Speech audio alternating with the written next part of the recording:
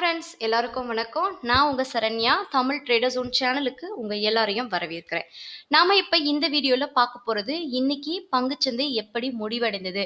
அஞ்சு பன்னெண்டு ரெண்டாயிரத்தி பதினெட்டு புதன்கிழமை பங்குச்சந்தை முடிவடைந்ததில் கவனிக்க வேண்டிய விஷயங்கள் என்னென்ன இருக்குது அப்படிங்கிறத பார்க்கலாம். கூடவே ஆர்பிஐ மானிட்டரி பாலிசி எந்த மாதிரி வந்திருக்கு அப்படிங்கிறதையும் பார்க்கலாம்.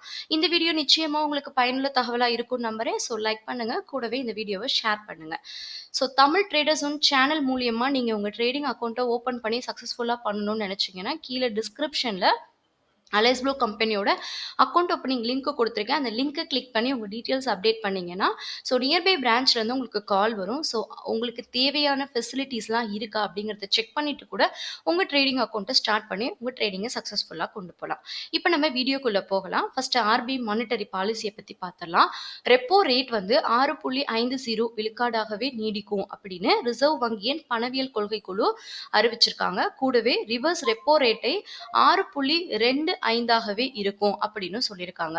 ஸோ இதை பற்றின பேசிக்கான இன்ஃபர்மேஷன்ஸ் வந்து நம்ம தனியாக ஒரு வீடியோவில் பார்க்கலாம். இப்போ நம்ம க்ளோசிங் மார்க்கெட்டை பற்றி டீட்டெயிலாக பார்க்கலாம். இன்னைக்கு நிஃப்டி எண்பத்தி ஆறு புள்ளிகள் குறைந்து point eight zero percentage down ஆகி பத்தாயிரத்தி எழுநூற்றி எண்பத்தி ரெண்டு அப்படிங்கிற லெவலில் க்ளோஸ் ஆயிருக்கு. கூடவே இண்டைசஸ் பார்த்தோம்னா nifty fifty mid cap small cap எல்லாமே இன்னைக்கு டவுனில் க்ளோஸ் ஆயிருக்கு அப்படிங்கிறத நம்ம பார்க்கலாம்.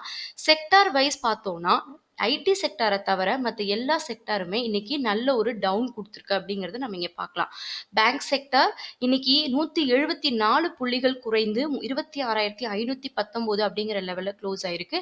Auto sector finance service FMCG அதுக்கப்புறம் me media metal pharma PSC bank private bank எல்லாமே இன்னைக்கு நெகட்டிவாக க்ளோஸ் ஆயிருக்கு. ஐடி பதிமூணு புள்ளிகள் உயர்ந்து ரெண்டாயிரத்தி நானூற்றி தொண்ணூற்றி ஒன்பது அப்படிங்கிற லெவலில் க்ளோஸ் ஆயிருக்கு. அதே மாதிரி சென்செக்ஸ் இரநூத்தி நாற்பத்தி ஒன்பது புள்ளிகள் குறைந்து முப்பத்தி அஞ்சாயிரத்தி எட்நூத்தி எண்பத்தி நாலுல ட்ரேட் ஆயிருக்கு. இன்னைக்கு நிஃப்டியில டாப் கெய்னர்ஸ் அப்படின்னு பார்க்கும்போது Hindustan Unilever HDFC Infratel HCL tech HDFC bank tech Kendra Reliance Wipro Adani ports Bajaj auto top losses அப்படின்னு பார்த்தோம்னா சன்ஃபார்மா ஐந்து புள்ளி எட்டு ஜீரோ புள்ளிகள் குறைந்து நானூற்றி பதினேழு அப்படிங்கிற லெவலில் க்ளோஸ் ஆயிருக்கு. Hindalco Tata steel Indiabulls housing finance Vedanta Tata Motors Cipla JSW steel MNM coal இந்தியாலாம் top லாசஸாக இருக்காங்க.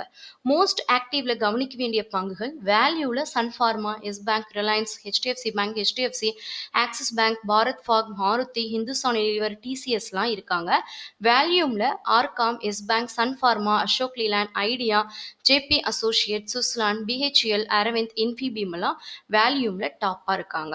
ஸோ இன்றைக்கி நம்ம சார்ட் வைஸில் வீடியோஸ் பார்க்கலாம். இன்னைக்கு நிஃப்டி ஃபிஃப்டி ஒரு பீரிஷான கேண்டில் ஃபார்ம் பண்ணியிருக்கிறத நாம் கவனிக்கலாம். ஸோ இன்றைக்கி வந்து நிஃப்டி ஃபிஃப்டி நல்ல ஒரு பீரிஷ் கேண்டில் கொடுத்துருக்கு.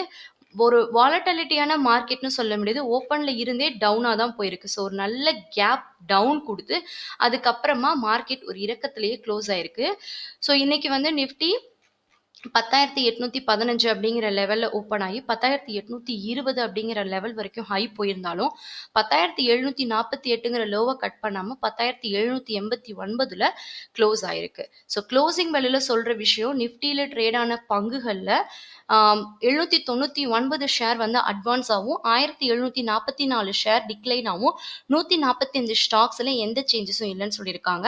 ஹெச்யூஎல் ஹெச்டிஎஃப்சிலாம் டாப் கெய்னர்ஸ் ஆகும் டாடா ஸ்டீல் ஹிண்டாக்குலாம் டாப் லாசஸ் அப்படின்னு குறிப்பிட்டு சொல்லியிருக்காங்க.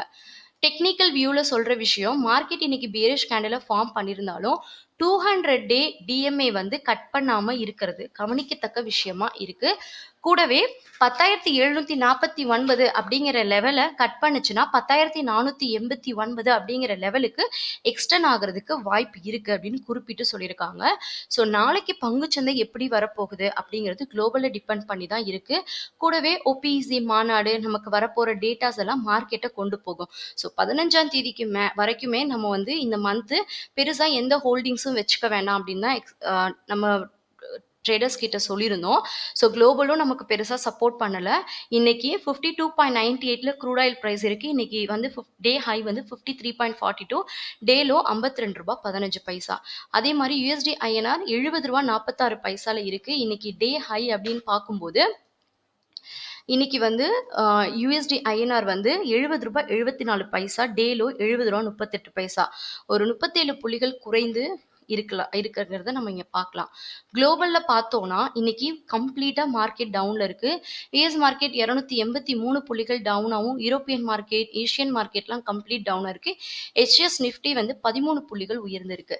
ஸோ இந்த மார்க்கெட் எப்படி நாளைக்கு மார்க்கெட் கண்டினியூ ஆகுது நாளைக்கு பங்குச்சந்தை எப்படி ஓப்பன் ஆகும் அப்படிங்கிறத நம்ம தனியாக இன்னொரு வீடியோவில் பார்க்கலாம் ஸோ இப்போ பார்த்தா இந்த பேசிக்கான இன்ஃபர்மேஷன்ஸ் எல்லாம் உங்களுக்கு யூஸ்ஃபுல்லாக இருந்ததுன்னா இந்த வீடியோவை லைக் பண்ணுங்கள் மறக்காமல் ஷேர் பண்ணுங்கள் ஸோ இந்த வீடியோ பற்றின கருத்தை கீழே இருக்கிற கமெண்ட்டில் மென்ஷன் பண்ணுங்கள் இல்லைனா எனக்கு வாட்ஸ்அப்போ டெக்ஸ்ட்டோ பண்ணுங்கள் ஸோ இதே மாதிரி இன்னொரு பயனுள்ள தகவலோட இன்னொரு வீடியோவில் சந்திக்கும் முறை உங்களிடமிருந்து விடைபெறுவது உங்கள் Saranya.